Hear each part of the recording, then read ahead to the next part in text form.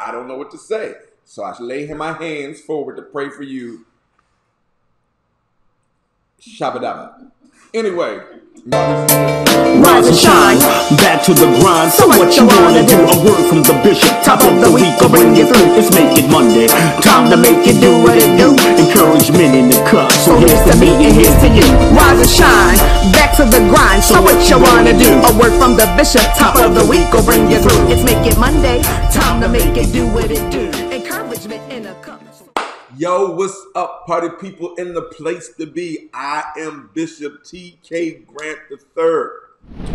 I am the senior pastor and founder of of Faith. First thing you know, I want to know is what's in your cup. Now, maybe you don't have a cup. There is a very distinct problem. You are not getting a recurring motif that's happening here. I don't know what to say. So I lay my hands forward to pray for you Shabadaba. Anyway, today I have a theme. Where do we go from here? And we have three keys to having a good week and changing your perspective so that you don't say, oh my God, it's making Monday. You be like, oh my God, it's making Monday. Yeah, yeah. So that's what I want you to do. I want you to be like, it's making Monday. If you don't have a beard or anything, just, you know, grab something. It, grab that one ponytail. It's making Monday. Oh. yes, ma'am. Yes, sir. We're going to make it do what it do. But before we do that, we got to get into some current events. First current event is the coronavirus. Oh my God. This, this is crazy.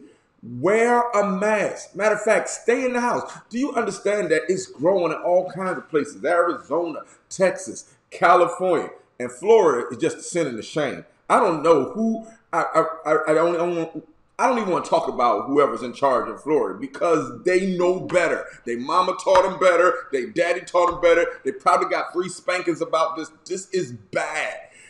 Do you understand that 11,000 people had uh, had the virus in a day? Uh, Florida has topped over 200,000 people with the coronavirus, and people are going to Florida like it's a Miami Vice reunion. What is the problem? What is the problem? Don't go. And that, and therefore, and I gotta say this: Why in the world were you at a cookout? Please tell me. Please tell me. Why did you go to a cookout? For real? For real? The ham, you couldn't cook your own hamburger. You couldn't cook your own. Look, my wife made me barbecue steaks, all kinds of stuff, hamburgers, chicken. I ain't been nowhere. What are you doing at a cookout? Don't tell me. Don't tell me. Don't tell me. I got the blood of Jesus. I got the blood of Jesus. No, I don't. Don't tell me about no blood of Jesus. I'm a preacher. I know about the blood of Jesus. And when they had the blood, if we go all the way back to the beginning, and they put the blood on the doorpost and the blood on the lintel, watch this one rule: stay your behind behind the door. Stay behind the door. So you just can't be saying, I got the blood of Jesus. I got the blood of Jesus. The blood of Jesus still requires you to not disavow your responsibility. The, I'll say it again. The blood of Jesus still requires you to not disavow your responsibility. So I'm going to take this little uh, piece of tissue and tie it around my, my face like a bandit and scream, blood of Jesus, and everything's going to be all right. And then you croak. Don't do it. Stop going to weird barbecues for this summer. This thing is at an all time high. Only us in Brazil are as bad as we're doing all across the world. Do you and you out at the barbecue trying to get a free hamburger? Okay, I gotta move on. I gotta move on. I gotta move on. Wear a mask. I got my mask in the blood of Jesus. Oh. Anyway, um, not only that, but watch this. The Redskins, the, the Washington Redskins, for y'all that understand football. On Thursday, the owner of FedEx issued a statement calling for a name change. And, and then Nike and Pepsi and Bank of America also called for a name change. Then on Friday, the owner Dan Snyder said that he would changed the name. And so now they are running through names that they might pick. Dwayne Haskins put up on uh, his Instagram uh, Red Tails, and then he changed his mind about giving his opinion. I don't understand why he gave it in the first place. Anyway, but you know, it, it is what it is. Uh, uh, you know, he won the Red Tails Tuskegee Airmen. Some of y'all figured you would know it, but then I didn't say it. Then the other people didn't know why I said Red Tails. So the Holy Ghost said, You need to tell everybody because some people don't even know who the Tuskegee Airmen are. And I don't have time in this little short window to tell you who the Tuskegee Airmen are. But you should think about it. Okay. Not only that, Cleveland Indians are thinking about changing their name. They like, we don't want to miss the boat. that was a bad pun. We don't want to miss the party. so they're thinking about changing their name as well. Miss the boat entirely. Do it. Don't get on that boat. Anyway, but change the name. Get on the plane. Plane goes faster. You know what I mean. Wink, wink. Go faster. Go faster. Then there has been, I, I see how I just segued, it was bad segue, but there has been gun violence, gun violence in Chicago that has killed a nine year, uh, killed nine children since June 20th, and uh, includes a seven year old girl who got a bullet in the head because people wanted to fire guns during the 4th of July when they should have been in the house with the blood of Jesus behind the door. Uh, anyway, all of these things, they, uh, they, they, they, they, they get under my skin. That was the best euphemism that I had at the time. All right, so let's talk about this week. We want to have a good week and change our perspective. And boy, do I have a word for you. Are you ready for the word? Okay, I'm not going to give it to you yet because you know that's not how I do. and if I got you with that, you need to watch more often. Good save. Okay. All right, number one. Number one. These are three keys, three factors, three three things you have to remember so that you can have a good week and be like, make it Monday. Yeah. Have a good week and uh and have a great perspective. Number one, you have an exceptional position. An exceptional position. You've been given an exceptional position. Matthew 20 and verse 16 says, So the last shall be first, and the first uh, last. For many are called, but few are chosen. God has changed your situation in life. He's changed your station. In Deuteronomy chapter 28, 18, uh, chapter, chapter 28, verse 13, he says, and that you're going to be the head and not the tail, always above and never beneath. I like to say, say it like this you're the head and not the tail, lender not the borrower, always on top, never on the bottom, first not the last, king not the servant, son not the slave, wholesaler not the retailer, merchant not the customer. I'm trying to tell you, you have been given an exceptional position. And so you've got to remember that, that God sees you in a certain light, that you have been positioned to prosper. You have been positioned uh, for protection. You have been positioned for pleasure. You have been given an exceptional position. And anybody with an exceptional position should not waste their shot. That's what Hamilton's saying. And Hamilton, just in case you got cultured this weekend, I'm not going to waste my shot. Anyway, all right. Number two. Number two. All the people that didn't see Hamilton don't have any culture. For you, I'm praying. Um, number two. You have elevated prominence. You have elevated prominence. I wanted to say it another way, but then I figured I would go back and forth with myself in an argument about how it was going to be taken. So you have elevated prominence. I win the argument either way. Um, First Peter 2 9.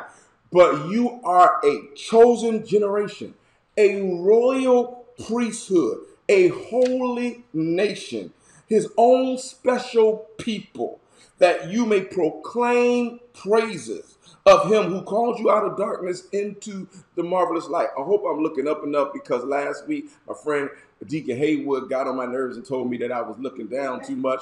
This is not even her gig, so I don't know why she wanted to bother me. She should get her own Make It Monday gig. Just get it on Tuesday and let me tell her about if she looks down. But moving on, you have elevated prominence. Watch Revelations 1. You really, that really. Okay. And from Jesus Christ, the faithful witness of the firstborn from the dead and the ruler over all the kings of the earth, to him who loved us and washed us uh, from our sins in his own blood and has made us kings and priests to uh, his God and Father. To him be glory and dominion forever. Amen. So you have this situation where you are a king and a priest. And let me help you with that. A priest gives God his praises, and the king has dominion. So God has put you in this elevated situation of prominence, grandiloquence. You be the one. Then, number three, number three, number three, you have exceeding power. This one, I don't know, I was going to say is my favorite, but I really like number two. So um, if I had some dice, I'd just have some dice. So um, Philippians 4 13, I can do all things through Christ, which strengthens me. Now, I told them to put it in the Amplified Classic version of the Bible, but somehow that didn't come across. So just look it up. Okay, number two, John 4 4.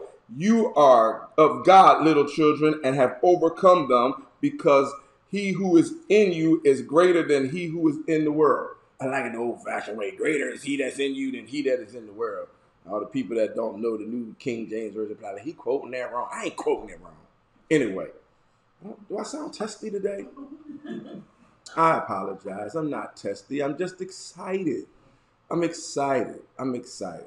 But if you're going to live like this, you've got to renew your mind. This I haven't said it in like three weeks, and I don't want you to think I forgot. But renewing your mind is pivotal. Renewing your mind is critical. Renewing your mind is key because the Bible says, as a man thinketh, so is he. If we look at it and break it down, it's really as a man thinketh, so is he, or so is he to become. If I really understand the Hebrew and all of it, so is it. So I become like I think. So I have to constantly change and renew my mind so that I can think a certain way. And Romans 12, 2 says in the NIV version, now they give me versions that I want. Do not conform to the pattern of this world, but be transformed by the renewing of your mind, that you might be able to test and approve what good, what God's will is, his good, pleasing, and perfect will. I probably didn't want that in that version either, but you you you get it. Uh, they said I told them, so who am I to argue with me? Um, so anyway, you got to renew your mind because renewing your mind is going to be a great thing. Now, for the word. Okay, okay, enough of that. Uh, bellwether. I know you use it all the time. bellwether. It is a noun. It is a noun.